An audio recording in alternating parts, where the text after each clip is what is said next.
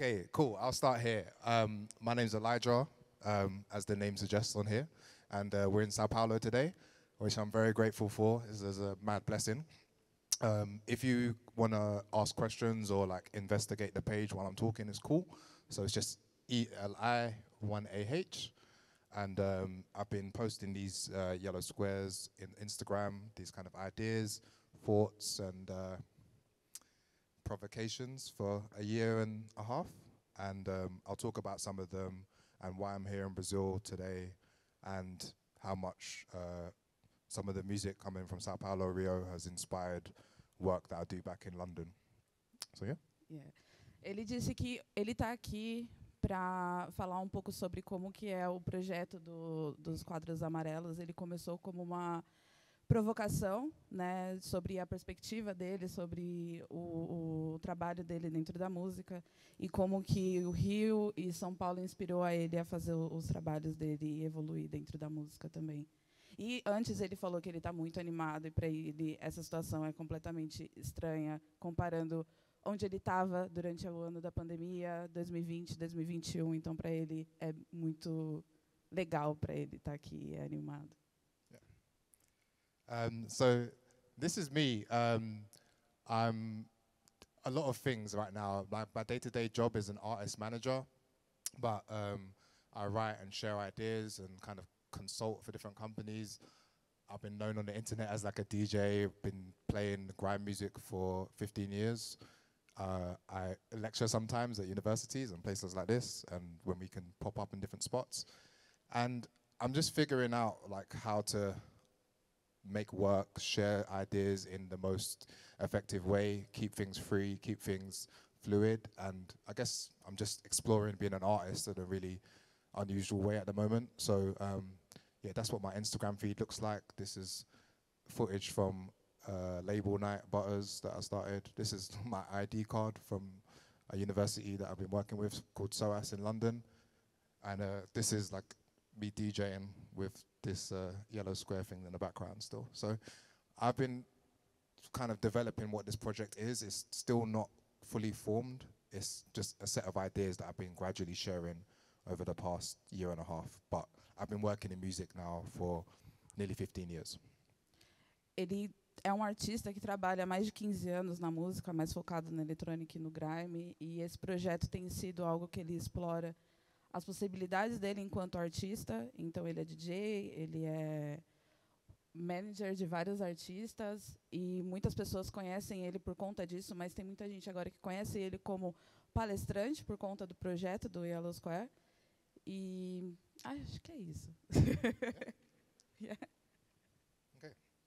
And uh, this is the label that uh, I started in 2010. It's called Butters.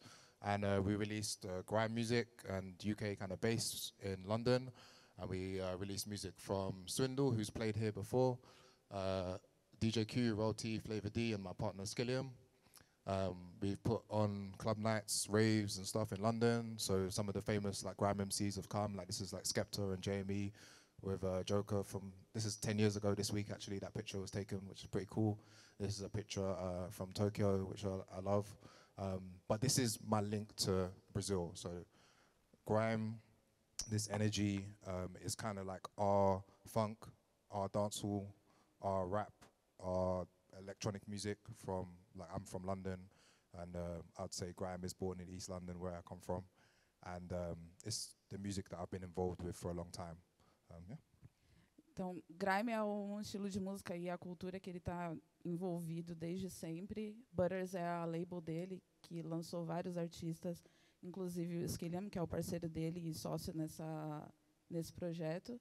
E aí ele mencionou que algumas dessas fotos, uma foi tirada 10 anos atrás, inclusive essa semana, e a outra foi de quando eles foram fazer a turnê no Japão. Sweet. And um, I guess that my window into like Brazilian culture, like obviously I have many layers of this, but a few years ago I was watching uh, the Brazilian Grime Show on YouTube, and I found it like super inspiring. I discovered a lot of MCs, and um, these are just, I guess, in London and the UK, they're not as receptive to sounds from outside of uh, America or maybe like West Africa or, or Jamaica, and um, I was playing people music from here in, in London alongside the grime from the UK. Um, but you know, Fleezus and Febem in particular, they stood out, and I was like, damn, we were sharing this video, a lot of the scene in the UK. I'm going like, these guys are sick. Like, what's happening here? And uh, gradually, um, I started linking up and talking to Cezinha, and they made uh, a project, and I was just just a fan of what was happening, but I couldn't figure out a way to get involved or or show love apart from just sharing it on Instagram or sharing it on Twitter. So that's most of my energy in 2019 um, was just that. That's all I was doing, and um, I was getting a lot of love back, a lot of love back from the scene here and the MCs, and um, I, was like trying to figure out a way that I could uh, bring some value and um, promote what is happening here in in the UK. ele se interessou muito pela música brasileira, e especialmente o movimento do grime que estava sendo criado no Brasil.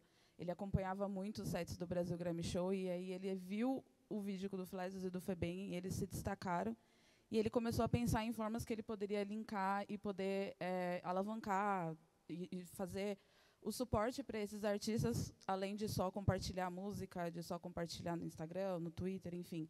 E em Londres as pessoas não são tão receptivas para músicas que não são de origem norte-americana ou do oeste da África. Então ele começou a tocar essas músicas que tinham influência de grime brasileiras no set dele e a galera começou a ter essa recepção e aí ele começou a ter o, a conexão com o pessoal daqui, Cezinha e todos os outros. Yeah. So I was like crazy excited. Um, I reached out to Cecilia in uh, the beginning of 2020 or the end of 2020, after Brime had been out uh, for a while, this record that they put out with Verbenham and Fleezus. And I was like, I want to release it on vinyl record, have uh, promote it in Europe, sell it, sell the vinyl, and put the first Brazilian grime music on vinyl, and you know send it here to to people in in Brazil. And um, the whole experience was crazy. It was in lockdown. A lot of uh, manufacturing was shut down. It was super expensive, super like chaotic. It was a really like kind of dark time, but it was one of the things that was uh, keeping me going, inspired, excited about music still, and waiting for an opportunity for when things open up again out of the pandemic for us to like meet up and work. So I was speaking to them through Instagram and through uh, iMessage, and uh, we made the made the vinyl, which took about six months. I sold it on online. I said, oh, I'll send it to Brazil for free shipping, which was uh, free shipping from the UK ended up costing uh, me and my partner Skilliam uh, five thousand pounds. So I spent a lot of money trying to get the records here. So when I saw the vinyl here in Brazil, I was like hugging people. I was so excited um, for it to be here, and um, I was really proud of this project proud of the, the set that um, we shared on uh, YouTube. It's nearly a million plays, which is crazy. And really, it's like one of the like most exciting records that I've worked on on the label.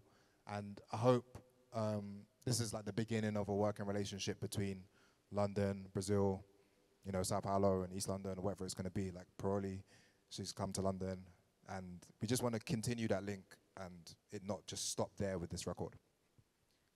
You talk a lot now. Sorry. Okay. Let me take my breath now. Em 2020, eles começaram a conversar por mensagem, ele, Cezinha. Então, foi um, um vai e vem de mensagens, porque foi bem na época que estavam as restrições do Covid, então eram tempos bem complicados. Ele decidiu fazer o projeto em, em vinil e Custou muito caro, porque ele resolveu mandar de graça para cá, sem cobrar o, o frete. E aí ele queria poder manter essa conexão com os artistas aqui do Brasil e não somente ser um projeto que é, não teria um legado. Então, para ele foi muito importante se conectar com as pessoas. Aí ele mencionou que eu fui para lá também. I still didn't go on my record, by the way. But, é, mas é, o, o, ponto, o ponto inicial era ter essa junção e mostrar todas as peculiaridades e, e, como a gente divide muito mais é, similaridades né, da, da, música, tanto em Londres e East London, que é onde nasceu o grime, e aqui em São Paulo. Uh, so this is last night. I got to see the show for the first time in the flesh and meet uh, Febem Fleezus for the first time. And um, I was very excited, uh, watched the whole show. And I think my connection with the music is through melodies and not so much words because um, I don't understand Portuguese. But when I hear everyone singing back, I know the points now where everyone gets excited. And it made me understand the music better. It made me think Fleezus is, is an awesome MC as well, like crazy, crazy voice. Um, appreciate y'all. And um, it was just surreal to see it again because we were doing this in lockdown. I had no expectation of um, what the impact in Brazil was actually like. I just knew that I liked the music. It could have not been actually big here. It could have just been something that I liked and be fine. But I'm I'm so happy that you know it's worked out for the guys and um, everyone seems to enjoy it and it's got a, like an audience and fan base. You know. Ontem foi a primeira vez que ele pôde ver o show ao vivo e conhecer o Flesos e o Febem eh, pessoalmente. E aí, para ele, a conexão com a música é mais pela melodia, os instrumentais, já que ele não, não, não fala o idioma. Então, ele pôde ver pelo público quão, quão era forte e qual, quais músicas eram mais significativas do projeto. E foi basicamente isso. I'm so glad that I got that on camera. Um, so yeah, that's kind of how I got to Brazil and like why I'm here and kind of ex- exploring. I was in Rio last week and I'm writing a book about grime and Brazil is like the last chapter in the book. So um, the book spans the last, I guess, 20 years, and um, I couldn't finish the book without coming to Brazil because you know you ma- made such an impact on the scene, which is a, a small scene in the UK, but it's um, it's a very important cultural thing, and I wanted to make sure that it was included authentically. Ele está escrevendo um livro que vai recapitular os 20 anos de Grime e ele disse que o Brasil é o último capítulo desse livro e ele não poderia terminar o livro sem estar presente aqui e ver como é a cultura aqui. Em Londres ainda a, a cena do Grime é muito pequena, embora a gente acredite que é, é muito forte, mas não, é tanto, a galera lá não é tão unida assim. Então, para ele vir aqui e poder fazer essa conexão é, é muito importante para poder finalizar esse livro. And now um, I'm going to talk about the, the ideas from Instagram, so the yellow squares. Um, I've been trying to make them in real life, so they're not just something you look at on the phone. It's something that we you get to discuss with people, um, like put it in the football stadium and on the big stages and outside with uh, billboards. And what how I see these this uh, yellow squares is ideas, not advice, experiments observations, possibilities, art, history, memes, vibes. I don't know. Sometimes I'm just playing around, being an idiot, and uh, I, it's just like a way for me to be creative daily that doesn't take a lot of, um, you know, time and energy. It's something that's quite light, and I really enjoy sharing them each day. You know? Então, a história de como começou, né, os, os Yellow Squares é mais para ele se mostrar criativo de uma forma que não vai demandar tanto tempo dele, tanta energia, mas que mesmo assim vai manter ele em movimento. Então, ali ele lista o que são eh, os quadros amarelos para ele. Então, são ideias, não conselhos, experimentos, observações, possibilidades, arte, história, vibes e memes. Então, não é não é nada que é para se levar à risca, mas é sobre a experiência dele, a perspectiva dele, como pode ajudar outros artistas também. Thank you. Um, so this whole thing is trying to develop into, you know, a way to kind of make creative education accessible. So this is free today. A lot of the information I'm sharing is just trying to be as free as possible. I want uh, good progressive ideas to be out there sharing rather than say like you, you can only pay for this course so it's only accessible to a certain type of person or certain institution. All I'm taking is everything that I've learned in the industry over the past 15 years and you know sharing where I think things are going next and maybe um, how different generations or younger generations or new people that interacting with it can learn from it or do something completely different to to to how I would approach things. So um, I'll go on to the next slide, but The big thing- No, let me do that Okay. first. Então, basicamente, é, os acessos ele quer criar para todo mundo e não somente pessoas que vão poder pagar pelo acesso à informação. Então, por isso que ele cria vários outros formatos aqui. Eu esqueci de falar no, no anterior, é que ele está tentando fazer os quadros amarelos ser tangíveis. Então, colocando outdoors pela cidade, em pontos específicos, porque não são só outdoors, mas são... É, em, em, pontos que são como a gente consideraria as quebradas daqui. Então, para essas pessoas que ele quer atingir, pessoas mais novas que vão pegar a informação dele e fazer diferente de como ele fez, ou seguir os conselhos dele como ele, como a pessoa achar melhor. Yeah. So, you know, but some of these main points are building like a skill set that you can use as a freelancer or full-time employee or as an artist. So, I try and not everyone is going to be like a pop star or like a big rapper or producer or something.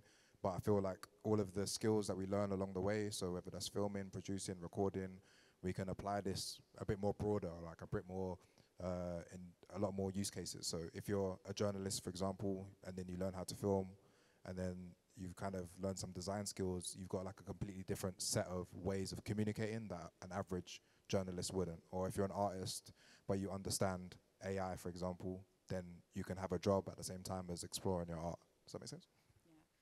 Então, é, uma das, das primeiras, né, que ele fala, um dos primeiros conselhos que ele que ele traz é como você pode construir um set de habilidades, né, o skill set que ele fala, que vai te transformar em um um profissional excepcional. Então, se você é um jornalista que sabe filmar, que sabe editar, você vai ser um profissional completamente diferente do que os outros que estão no mercado. Ou se você é um músico que trabalha com inteligência artificial, provavelmente você vai ter oportunidades que uma pessoa que não tem isso é, vai ter.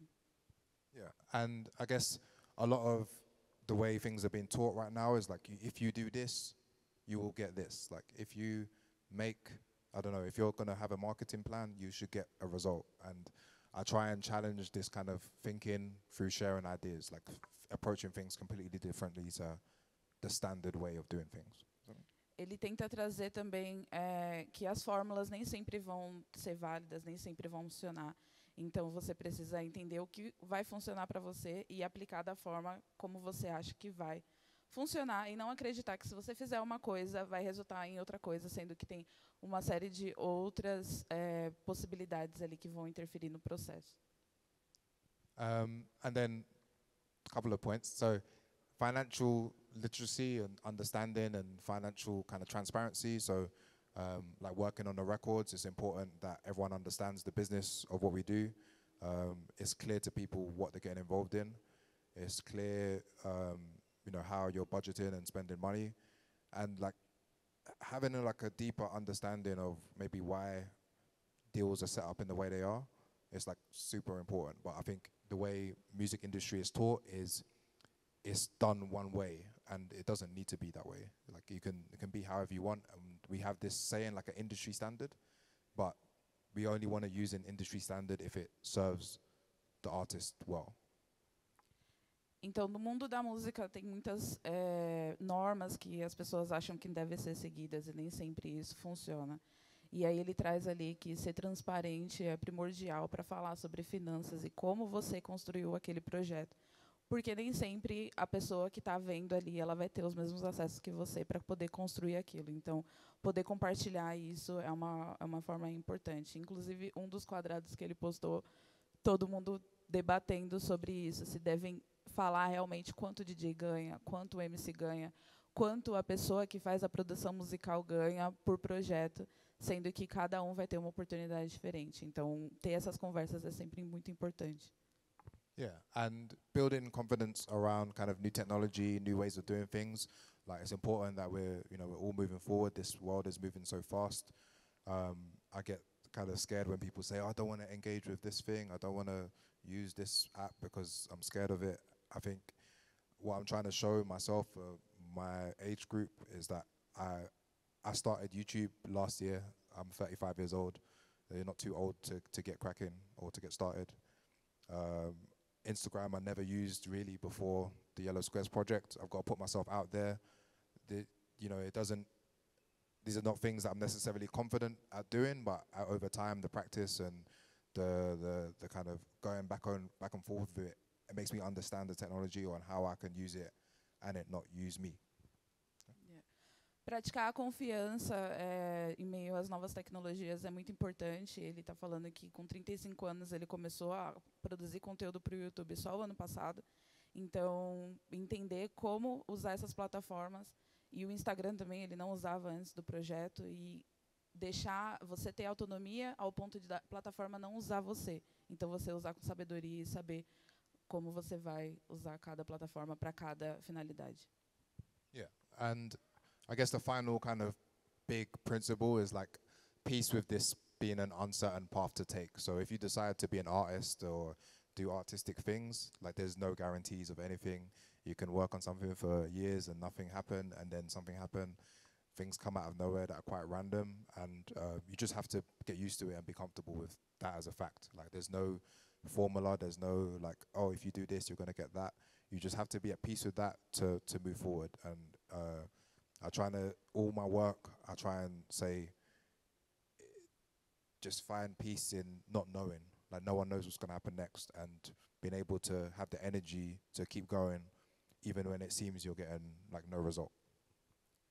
Então, ter paciência e paz no caminho certo é primordial, porque oportunidades elas vêm e aparecem quando você menos espera. Então, você entender que o caminho é incerto vai te dar mais paz, vai te dar mais tranquilidade para poder seguir e continuar com o foco no objetivo final. Cool. I sound like a coach now. Yeah, I, I don't mean to sound like a coach, but no, me. I mean. does w- we're kind of like do do any- does anyone want to ask any questions at this this point? Alguém quer fazer alguma pergunta até esse ponto? Hey, uh, Hey. I'm Arthur. My name, uh, Slake's my project, and as an artist, you know, uh, a career we have our up, ups and downs, and you have any strategy for like keeping your mind straight and you know trying to overcome the problems uh, uh, our career or anything like that? For for me, um, when something feels like it's going down, I weirdly like work on other things, because then it, it feels like it takes the pressure off that one thing being the the whole. You know I mean, your whole energy. I, I see this a lot with artists. Maybe you're doing one artist project, and then it's you're not sure where to go with it next. Actually, just starting something new and having the excitement of something. If you're starting something with a friend, for example, collaborating and doing something that's a bit out of your comfort zone, and then you can return to your own project with fresh eyes. Do you know what I'm saying? So I, I see this a lot. Like when you say, like if you're making drum and bass, for example, and you've been doing it for years, but then you hit this wall, and then it's like, hmm, let me just not even to release it or to build a brand out of it, just try and making something else, try making rap music, and just see where it goes creatively, and then you can approach the the thing that you're more passionate about or more want to dedicate your time to a bit differently. Does that make sense? So your process kind of changes a bit, and I, this project is forcing me to do things that I just wouldn't have done before. So like talking in front of people, designing. My drawing's gonna get better, by the way. It's uh, one day, but you can see my drawing's not very good, but it doesn't matter. It's just like getting the ideas down. Yeah, I got you. Like making sure to put ourselves and push ourselves outside the box and try to Exactly. find Outside the yellow square. yeah. nice. Thank you. I just want to like have a conversation rather than me like lecturing. Like it's crazy. To Hi, Elijah. Uh, Hey. I'm Tiago. Um, there's a lot of talk about uh, the creator economy and how people like sort of like take their passion and start working what they love and sort of like put a lot of faith that's really going to work out and that they can sort of like drop their uh, nine to five work and be a full-time creator. How do you see that? What's your opinion on that? Do you think that by following your passion, there's no limits, or as you said, like you should keep your expectations low and just like go with the flow? What's what's your point on that?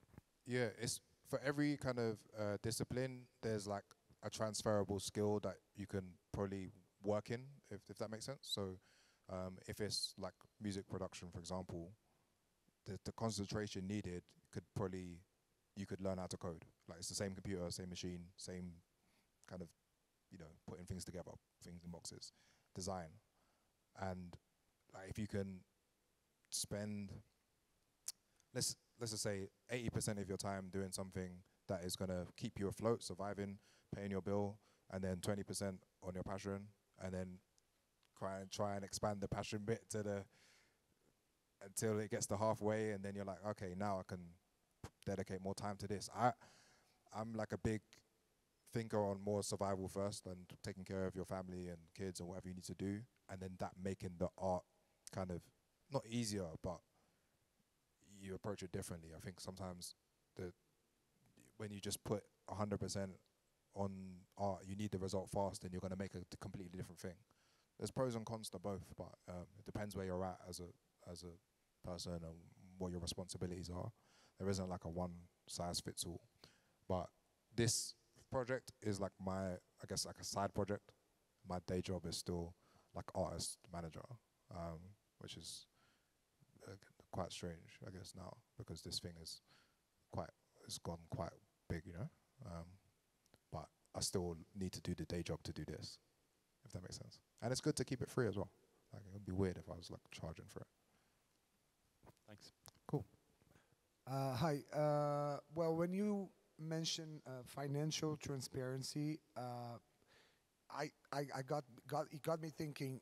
Inside electronic music market, when you you don't have like ta a table where you have the prices for the DJs or the events, and it's all about um, guessing or just making a proposal or making an offer, and then this is so. Uh, um, not une- it's uneven in between the the artist and the, the the record label. So how how can we go to from this to a financial transparency where you know how much the artist will cost or how much you have an idea, but you have Mm. you never know. And then this is bad for both ways because you're like um, uh, giving a price to it all the time, and it's art. So again, it goes against the idea of art that you don't give a price to art, but at the same time you do. So, how, what do you think about this? Yeah, I think I think about this a lot because um, I'm on both sides as like a manager and I, I I put on shows sometimes as well, and promoters and people putting on shows have more power than they think, and I think like you shouldn't necessarily just pay whatever someone wants just because they say oh I'm worth ten thousand. It doesn't make any sense. If it doesn't make sense for you business wise, you're gonna lose money and it's gonna cost you like the rest of the artists not eating good.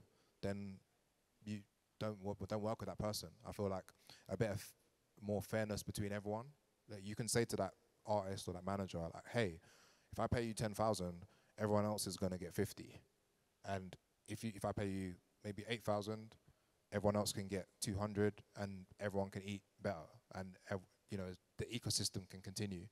And I feel like uh, when I've been a bit more um, firm with that, people are responsive. People are saying, "Oh, actually, yeah, it's probably better that this thing works and we don't lose shitloads of money." You know, um, it takes time though, and it depends on the artist and the relationships. If they deeply care about things continuing and surviving, then they will like embrace that. But if they don't, fuck 'em.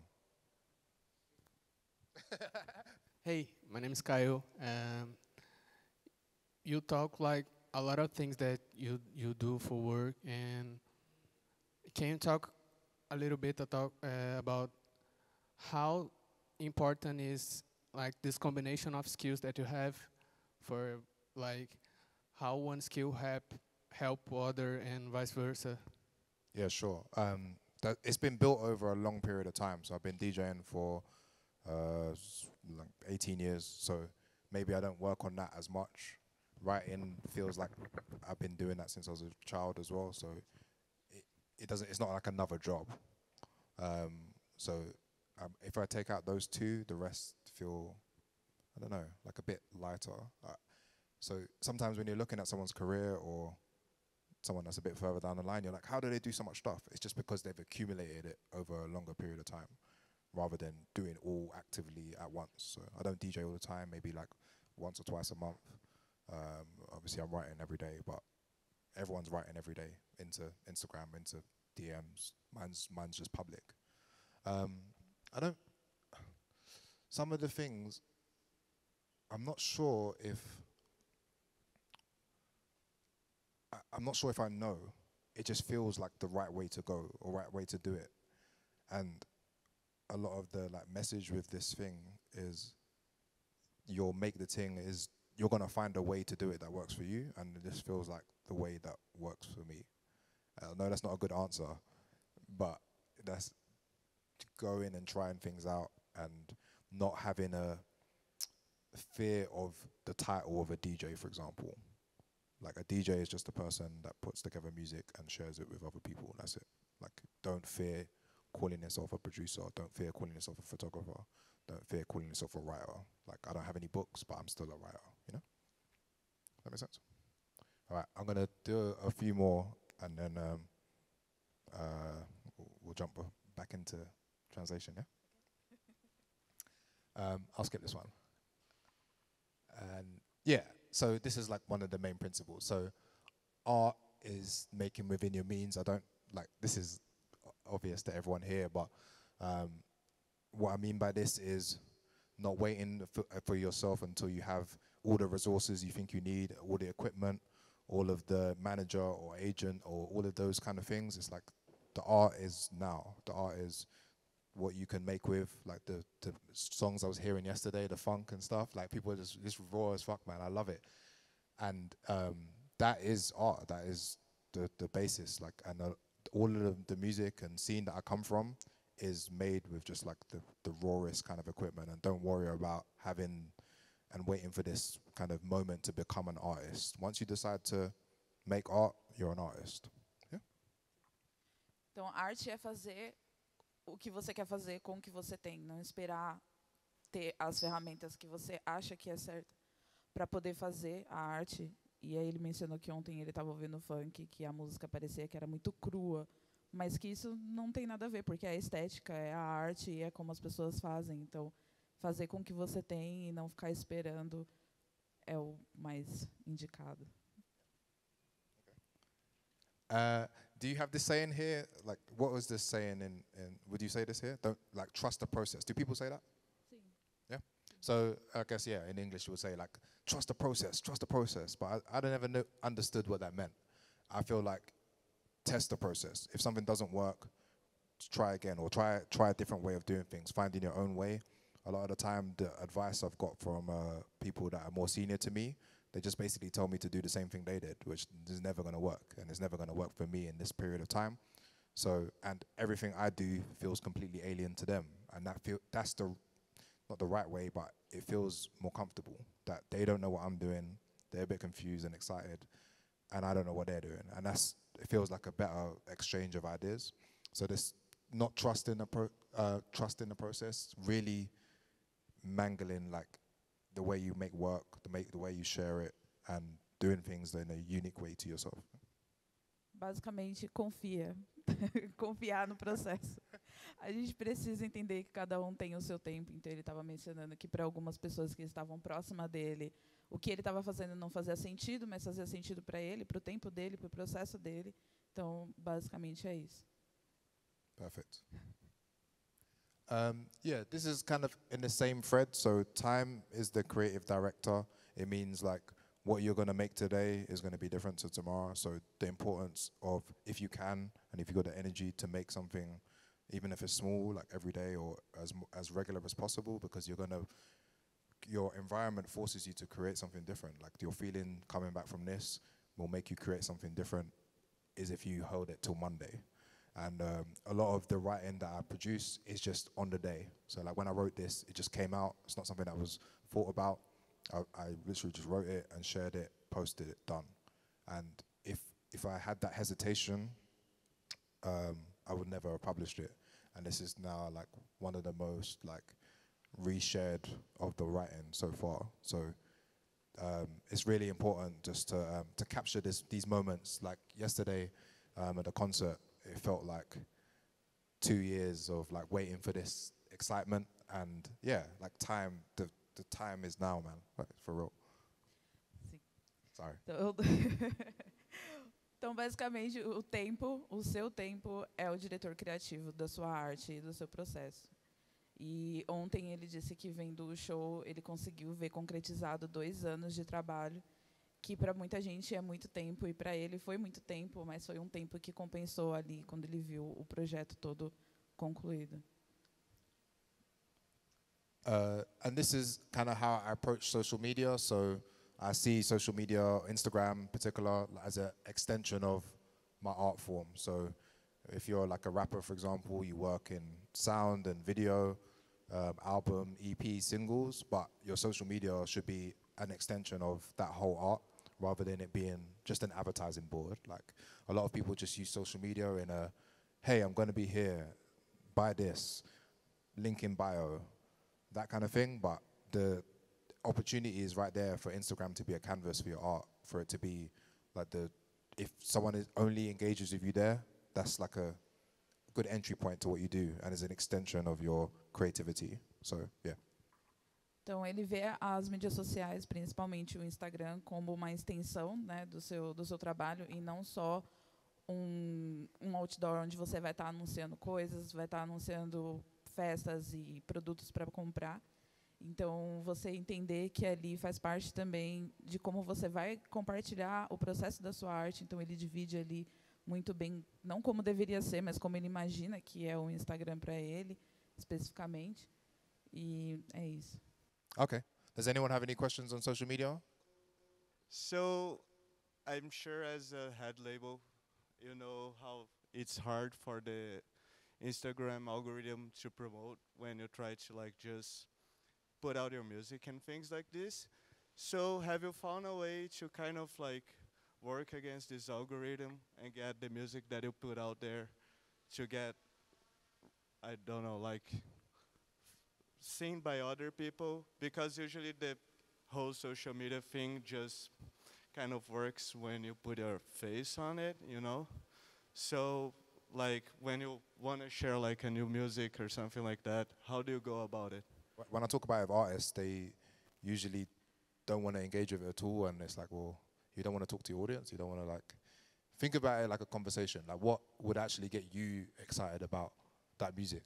So if you're releasing something, what makes you click out of a bio, open Spotify, save it to a playlist?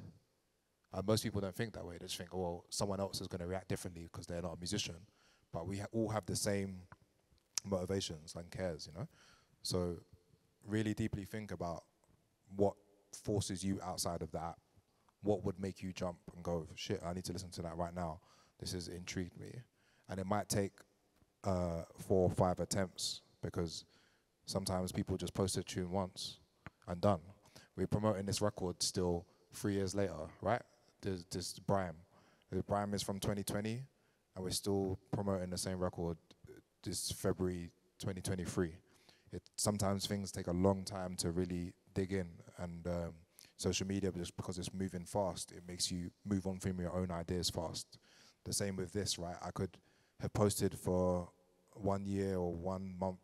Okay, yellow squares is done now. Red squares. It's like no, stick to it and and see it through. You know what I mean? If it doesn't, if it's not disciplined to you, then other people can't invest too. You know, if it doesn't feel like you care, then they won't. Also, yeah.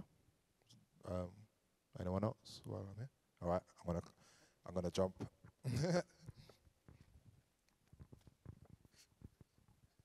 Hi, nice to meet you. Nice to meet you. Uh, when you say test the process, uh, what's the success point and the failure point? Because in our economy, the influential marketing is something really present, I believe, in in United Kingdom also, but right here it's really about the numbers and and these kind of figures. You know, uh, for example, in lots of clubs here, uh, it's really hard for you to play if you're not if you don't have that you know numbers mm-hmm. and this kind of success this kind of reward or something like that but as an independent art- artist, I know that there are things that engage a lot without making these marks. Yeah. So, do you have a suggestion for us to to see if something is succeeding or something is failing throughout our process? Yeah, that's a good question. Um, thank you. Um, I think the the route you're talking about is just a slower route, and you have to like embrace that. Like not going for all the likes and the hypes eh, that's in the second in that moment is not like a bad thing. Uh, have another slide is like connection is better than engagement. So you actually probably don't want all the numbers and all the likes. There's a lot of things I could do that would grow the page faster, for example, but it wouldn't make me connect with real people. I would rather it be us, just us here, people that I, I feel like I've connected with properly, rather than it just being some surface level interaction or me like just lecturing people. You know what I'm saying? Like, uh, and that is the same feeling with DJing. Yeah, unless you maybe want to be like a someone that plays to 10,000 people in a stadium, that's a different thing. But if you just want to be someone that is, uh, you know, playing your style or sound in the club and experimenting with things and want to do this for a very long time, then really drill down on that like connection part rather than the the number part. It's like it's it's really hard to do that. I'm not. I have the same problem in London and the same problem everyone does. It's it's not it's not exclusive to Brazil. Trust me. Um, but I think um, these occasions when I've been able to talk to people and for you to all exchange with each other, this is why I asked everyone to introduce it, each other, is so you can make friends here and build a connection. So when you follow someone, you've seen them in real life, and it's not just a like, it's a friend. It's someone that you've seen before, it's someone that you'll see again, hopefully, and maybe you'll go and build something, and that's more important than a comment. I don't even remember how many comments the things get uh, or care. No one cares, but you remember what the connections with people feel like, you know? Um, I think like when I linked up with the Brime guys, I had like a couple thousand followers. So it wasn't like I had a lot of followers. It was like about the people, you know? Um, any other question? Oh, yeah, you got one. Um, so my question is regarding content creation, Yep. especially for social media, because the thing is, mm, since there are a lot of people doing it nowadays, it's kind of hard to get sort of a unique feel to what you're doing. Mhm. So in that sense, if like the sort of thing that makes me kind of um, block myself from trying to do something new is that I don't know if it's something new because there are so many people doing it. So it might as well be something that another person has already done, Yeah. and it might have succeeded and it might have failed as well. Mhm. So how do you keep like a fresh batch of ideas going for you, and how do you make it so that it doesn't stop you from wanting to continue w- down that road, even if it's succeeding or not?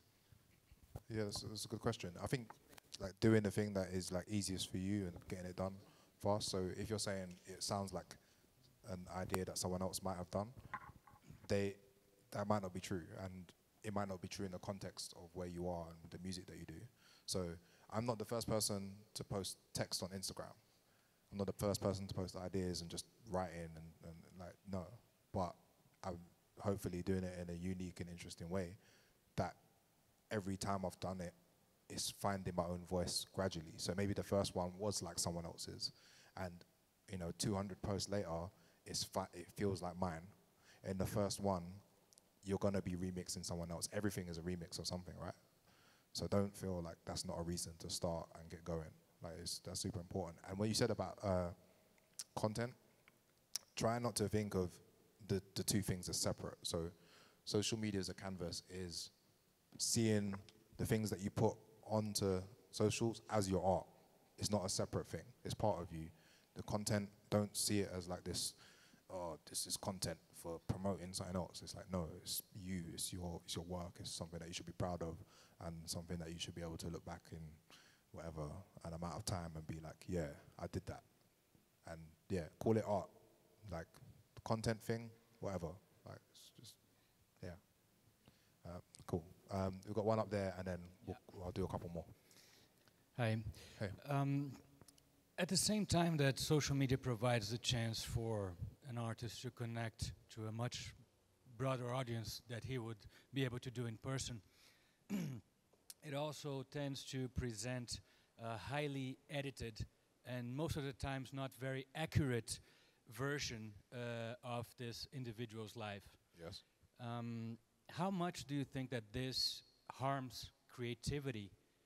And uh, what do you think of this constant comparison that uh, is basically the norm between uh, you know many artists, uh, especially the the younger ones. Yeah, the comparison all the time is, is super negative. Like I'm not gonna doubt that, but all art and creation is edited. Like you know the the way you put together a song, you is edited. Is highly like created. If you watch a film, that's highly created. All the scenes are laid out. Like use that as your comparison, maybe. But in terms of um, you know the real like psychological effects, I'm not a doctor. Like I don't know. Um, but when things do get a bit overwhelming, I just come off. I just shut it down. Um, there's been periods of time where I'll just do complete blackout for a month or three months. I'm not married to doing it daily. Um, I'm not married to what like reading it all the time. There are moments when, say, something pops off and you get excited and replying to a lot of DMs and stuff. Whoops. um, but I there's something that everyone has to learn as an individual, um, and I don't. Yeah, I don't have a solution. Some of these things I don't know the answer to, and I hope that's okay because I'm I'm I'm no genius as this ma- is clear right now after talking for half an hour. Um, I'll do a couple more squares and then we'll do a few more questions. Yeah. Um, oh shit. There's a few marketing people here. Maybe disagree. Okay. so this is for artists. You don't need a marketing plan. You need a strategy you can execute for low cost or free consistently. That's flexible, fun, and promotes your work. So that's that's you. So sometimes we get all like into strategy. We're gonna like we're gonna do this on this day. We're gonna drop this on this time, and and, and it doesn't happen. Actually, just a consistent, you know, momentum and wave is probably easier than moments and big drops, especially for independent artist. If you're not like a a blockbuster film star or something, or you're not selling like a Marvel film, then don't promote your work like that. If you're not Beyonce or Drake or something, it, yeah, that's, it's too hard to promote yourself like like a pop star without those resources. You know? Então, basicamente, você não precisa de um plano de marketing, você precisa de uma estratégia que você pode executar com um custo mínimo que vai ser consistente. Então, a chave aqui desse, desse slide é a consistência e como que você vai usar todas os, as ferramentas que você tem a seu favor para poder executar aquele plano. Does, does does everyone get that? Is that like Even Makes for me, it was a bit confusing to read how my... Uh, yeah? Some some of these like I get very like a lot of disagreement. Like it's people DM me and say me I'm an idiot. And I'm like, okay, I, there's things on this I'm gonna get wrong, and I leave them up, and it's part of the art too, you know. Yeah, but it always work for you. It's what always works for you. Yeah, this is just a question that I've been asking people. Uh, if you couldn't talk about yourself, what would your timeline look like? If you couldn't post pictures of just you, what what would your timeline be? Como seria a sua timeline se você não, não pudesse postar fotos de você nem o seu trabalho? Quem você promoveria? Qual seria o conteúdo que você ia falar? Does anyone want to answer? Alguém quer responder? I would post protest regarding everything minorities, um, people that don't have the power that we have, you know, from being here and, you know, um, protest in general about everything, social inequi- inequity or Yeah. Yeah. Uh, yeah, that's a good that's a good way to use social media. And I'm thinking about That once I finish this art. project, being like the the handle being just for other people's work, and this be something interesting, bit different. Anyone else want to add a different point? While we're here. No. All right, we're going to the next one. This is another one a lot of people disagree with. Uh, you can be a writer with no books. You can be a DJ with no shows. You can be a producer with no releases. You can be a something photographer with no exhibition. You can be a no. You can be a translator with three languages. I don't know, but you can be like not fearing any of these titles. And again, once you decide you're an artist, you're an artist. Once you decide you're a dancer, you're a desi- you're dancer. And how you develop that is up to you. And since I've been thinking like this, it's given me a lot of confidence in not having the fear of taking on some of these tasks. Like, okay, am I a producer yet? Yeah, yeah, I am. I've made some records. Like, I'm a producer, and it makes me less, um, yeah, less fearful about approaching any art form and not fearing it, and yeah, challenging myself. But people disagree with this. People think, oh, you need to do your 10,000 hours. Like, fuck that, man. Like, yeah. Os títulos, eles não querem dizer nada a partir do momento que você designa eles para você. Então, se você considera que você é um DJ, mesmo que você não tenha tocado em nenhum show naquele mês ou naquele ano, você é porque você considera você de acordo com as suas habilidades ali e o seu pessoal. Então, não se atentar a isso é importante para você poder progredir e poder continuar com a sua carreira. Sweet. Does any, anyone want to disagree with that? Like, that would be kind of like a cool pushback. It's- Alguém, alguém não concorda com isso? You don't agree? No, I'm asking if they don't Okay. agree. I agree. I'm here to prove, by the way. okay, I'll accept that one. I'll do one more. So, uh, maybe I should do it the other way around. So, the music industry is a monopoly, but music is free. So, music in general, making it, sharing it, enjoying it is free for everyone. I don't mean like money wise, but it's, it's the most free art form there is. Like, and um, sometimes when I talk about music creating, I'm not someone that works at a major label or big company. I've always worked independent. Uh, I'm not talking about being a pop star. I don't know how to do that. I've never worked in that arena. Uh, all I know is creating and sharing. And some things I've done, I've worked. Most things I've done, haven't. Um, like probably nine out of ten things I do do not work, but it's the enjoyment of making and sharing that carries this whole thing, you know. But the music industry, like if you're trying to get into that, is a com- completely different beast, which I still don't really fully understand. But try not to let that take away your enjoyment for you know the making and sharing of just music in general. Um, and I, I really like, you know, try and engage with myself. It's like sometimes when I feel like I'm having a bad time with this stuff, it's usually industry things and not the music. The music is really the problem. Então, a indústria da música é um monopólio, mas a música é de graça. Então, a música é a forma de arte mais grandiosa e é grátis. Então, não deixar que o fato da indústria ser um monopólio te desencoraje de fazer a música. É, ele menciona que para ele, muitas das vezes, quando ele está triste com algumas coisas, é a indústria e não a música que deixa ele triste. Então, ter isso em mente, que são duas coisas diferentes, mas que elas se complementam também é importante. Sweet. So, does anyone want to ask any more questions while we're here? And I feel like it can be about anything to do with this project or how we're connected today. Because uh, I leave Sao Paulo on Sunday, and I, you know, I might never come back. It might be just like a one-off thing. No. So- don't say that. If you want to say and share, then let's do it now and uh, make the most of the time. Yeah. Hey, Hey. um, I like to go back on two topics, okay? Sure. You were saying that how your timeline will look like if you can post, uh, if you not can post your job and only your community. Okay, our community feed us up, and you talk about your community, build up your identity too, because you share people's work that you identify. But talking about um, identity as a product, you know what I mean? Not just a product, but a product too. How can I? How can I say that? Uh, deal with the thing that I need to sell my product and put another contents in there uh, can distract the objective from my product. You know what I mean? And take away some attention about what I'm really trying to say. You know what I mean? Yeah, kind of. I think you see the on my Instagram, the first the first square pinned is that question. But can you read it?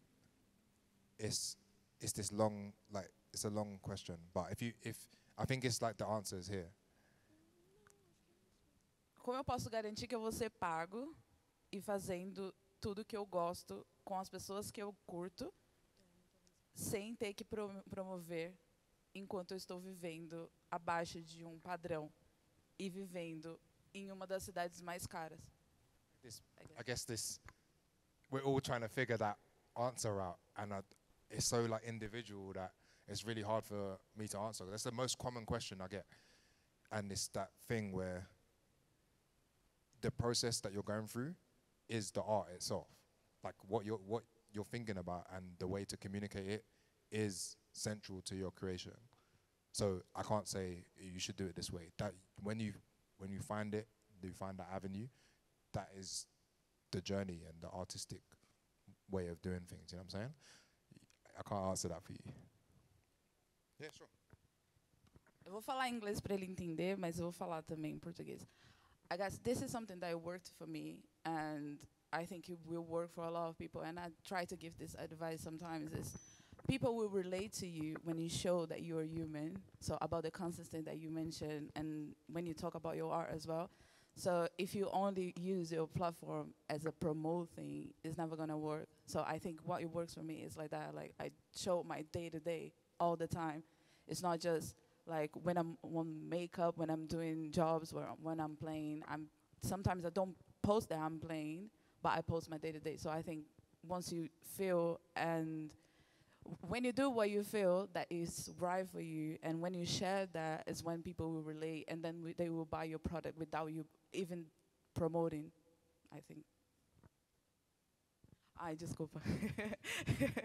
então, o que tem funcionado muito para mim é mostrar desde o começo como é a minha vida, mas de, de certa forma não mostrando algo muito exposto é, e ainda mantendo a minha privacidade. Então, as pessoas elas se tornam próximas a você quando elas acham que tem alguma coisa que elas podem relacionar. Então, quando você posta usando as, as plataformas não só para vender o seu trabalho, elas vão entender que elas precisam comprar aquele produto quando você posta e você nem está vendendo, porque elas se sentem próximas a você de alguma forma.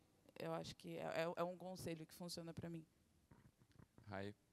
Uh, early in the conversation, uh, I think Peroli said that you were listening to funk, and your comment was that it was like crude music, you know.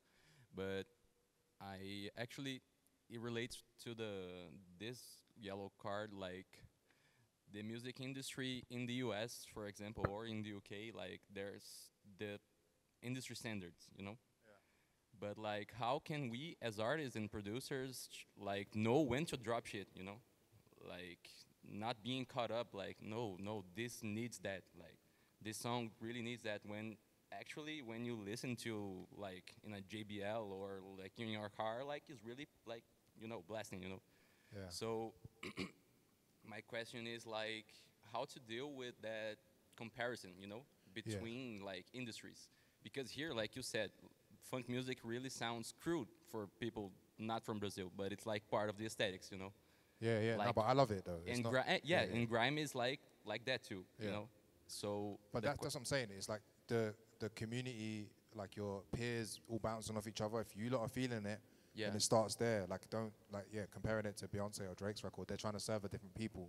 So i if if you guys are feeling it, then then that's a good place to start. And I, it feels like that's the most natural thing, right? If Yeah. if you if you guys are bouncing to it in the studio or yesterday uh, when I was seeing that DJ, I was like, damn, like that. It doesn't matter that it's not in a stadium in the UK. Like who cares? Like it's right here, right now, for the room that get it. And if there's going to be moments when it breaks out further than that, but making you know a room full of people happy is I don't I don't want to undersell like how much of a good thing that is. Like Yeah. if that's 50 people, 30 people, 20 people, just a moment of everyone sharing some joy, like is powerful, man. Like That's nice. Let's not undersell this just because it's not a platinum record. It doesn't mean it's not important. You know? it's like embracing the the wrong side of it, you know, like embracing the wrong part of the But process. that, that's the right. That's the like that's the thousand years of music. That was the only way to do it anyway. Yeah. So that is more natural than having you know, 20 team pe- people all Frankensteining together music. That's that's new. The way uh, people are putting things together here or you know in London or whatever, that is probably the more the most organic way. You know? So yeah. Thank you. Thank you. Hello, I'm Hello. Lucas, and I want to ask you, like, uh, even you're saying like m- uh, the music industry is a monopoly and music is free, in even at the same time, but in Brazil had a lot of these things like uh, the people want to separate kind of music, like you what you're doing is not grime, or what you're doing is not rap, or you're doing is not electronic music. What do you think about these people, like? Um, I, are they in the room right now? Are they here? No? Maybe. Is there anyone like that in the room? I don't know. Sometimes, obviously, th- I'm not doubting that that's true. Like we have the same like issues in the UK, but uh, is it actually affecting us connecting with people or getting ideas done? Yeah, they might have a voice and a platform or a point of view, but if it's not getting in the way of creating interesting stuff and people being excited about the music, then that's the focus, you know? Uh, there's a lot of voices and opinions, but are they in the dance? Are they in the rave? Are they buying your music? Are they your fan? Are they sharing it on Instagram? No. Like, so serve them. Like the people that were at the concert yesterday, that's the audience. Someone at home might have tweeted, you know, I don't like Brime, but they weren't there. So the, their opinion doesn't mean anything. And just like, I've learned over a long period of time to, to be able to tune out of it. It feels loud because it's on Twitter, but in real life, it's all love. So I have to engage with the, the you know, the day to day of the people that I'm coming across. And that's what I try and say to everyone. Like the the loudest is usually the, the people that are in front of you. If people in, in front of your face telling you something, then that's a bit different. But usually it's online and gossip or you know what I mean? That that that kind of energy. So um but I just got here. So I don't know the scene and politics here in Sao Paulo. Um so take that with a wh- what's the pinch of salt like a do you say that here? Take that lightly. I- I don't understand all the scene politics here. Um, um, should we do a couple more and then we can just like hang out and chat and i- people come into the party later as well. We've got like a party going on. RSVP. Todo mundo vai pra collab Legend. hoje. Wagwan. Hi. Hi. And I have a question. Uh, what do you think about in this contemporary, all virtual world we live in today? How important you think it is to invest in physical physical material of your art, like T-shirts, stickers, and everything physical? How, you what do you think about this? Um, yeah, if if if people want it, if it's if it's in, I don't think it's it's needed just because it's important to have physical items. If people like decided they wanted the the Brime vinyl, for example, and then we made it for them, it wasn't. I think it should exist and you will buy it. It's more like a a conversation and exchange, you know. And when I think of physical, the fi- the the most important physical not product, but experience is something like the club or the concert or this and the memory rather than the object. Sometimes it's like, okay, we buy something and then it sits on the shelf. You don't have like an attachment or love for it. You can't remember the day you bought it. You don't have like an emotional attachment. But hopefully this day in some for some reason you won't forget it. You know what I'm saying? And that feels that feels like a physical, you know, aspect, even though it's not something that's going to sit on the shelf. Um, I do still make physical stuff, so posters, stickers. Some people, um, I gave some out earlier on, um, but the most, you know, physical for me is like this. In terms of hierarchy, is this is the top, and maybe the objects and you know clothes and all this stuff that's transient or like passing through is like the bottom. They're both important, but yeah, this moment and us all being here, again, my fortunate circumstances to to bring me here to Brazil is gonna stick with me longer than any physical object will. You know. Uh, I think we have thinking about what he asked you. Uh, we have a lack of public politics here, uh, reminding of the cultural scene we live in, and giving resource and opportunity to lower range classes. I don't know if it's the right expression, but do you guys have in England uh, public politics about cultural movements? Like, I don't know if you spend like two or three months without getting a gig or without releasing a song that gives you enough profits to keep living. Is there money from the government that keeps you paying your bills? No. No. And um, hmm? yeah, so there's like fu- funding for artists, but it's like it's quite hard to get, and um, usually for like quite experienced or people that are like well read or well educated. Um, but but no, not really. And most it's it's it's very different. But like uh, most artists in the UK are still you know working jobs too. So even people that you see will have you know fifty thousand followers on Instagram. They do some shows. Maybe they get posted on Resident Advisor. They don't post about their work, so you think that's what they do all day, but they have jobs. You know, um, living in London is expensive. Even if you have a, if you're a big techno DJ and you're getting one or two gigs a month, for most people you, you wouldn't be able to live off that. So, um, it's it's a completely different set of circumstances. Um, and uh, again, like I'm reminded of our privileges being here, but still, the 99 percent of artists, people in the UK, are working jobs, even if it's part time or full time.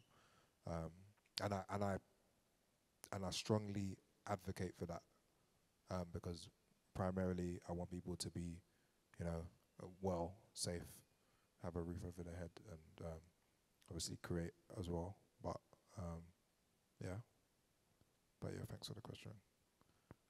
But yeah, I like seriously, um, I can't uh, understate or overstate um, how much I appreciate this opportunity and everyone that made it happen. Um, thank you, Cezinha, Peroli, all the team here at State. Um, this is something that came together in the last couple of weeks. Um, um, this is not wasn't my intention when I booked the flights to come. It was just to come and listen, experience what this was, and yeah, and uh, been shown a lot of love since. So appreciate it, and yeah, maybe we could do like a, a picture or something, and and, and yeah, but I appreciate it. Thank you.